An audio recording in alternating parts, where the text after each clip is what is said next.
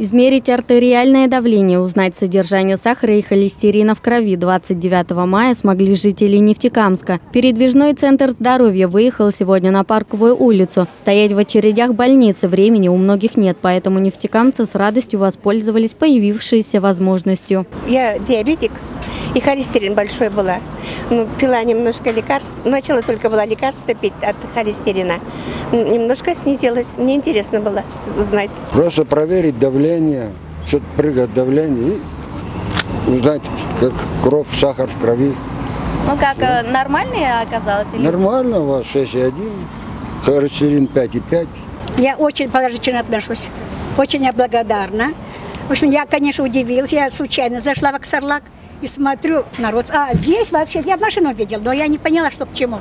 А зашла э, в Аксарлак, и там сказали, давление, пожалуйста, померите. Давление у меня, мерить я знаю, у меня дома есть тонометр. И вот сказали, прекрасно, сдать.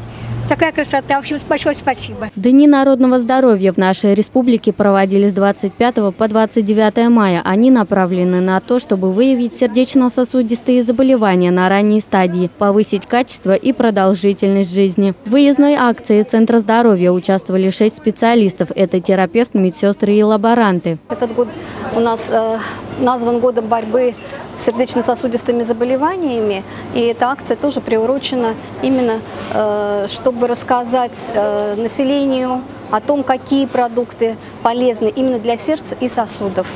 Вот, сегодня мы набрали вот такую витрину в нашем магазине, чтобы показать, какие продукты обязательно должны быть в рационе каждого человека, чтобы оставаться здоровым. Это очень важно, потому что если вспомина- вспомнить слова нашего великого поэта лучше голодать, чем что попало есть. Вот как раз это об этом, о том, что э, нужно обязательно разбираться, что полезно, что полезно именно для сердца, для сосудов, для твоего организма. Буквально за час специалисты Центра здоровья проконсультировали, измерили давление и приняли анализы у более 30 человек. Несмотря на то, что выделенный на акцию час уже давно вышел, медики осмотрели всех желающих. Татьяна Галиева, Артур Мирзагитов. Информационная программа «Ежедневник».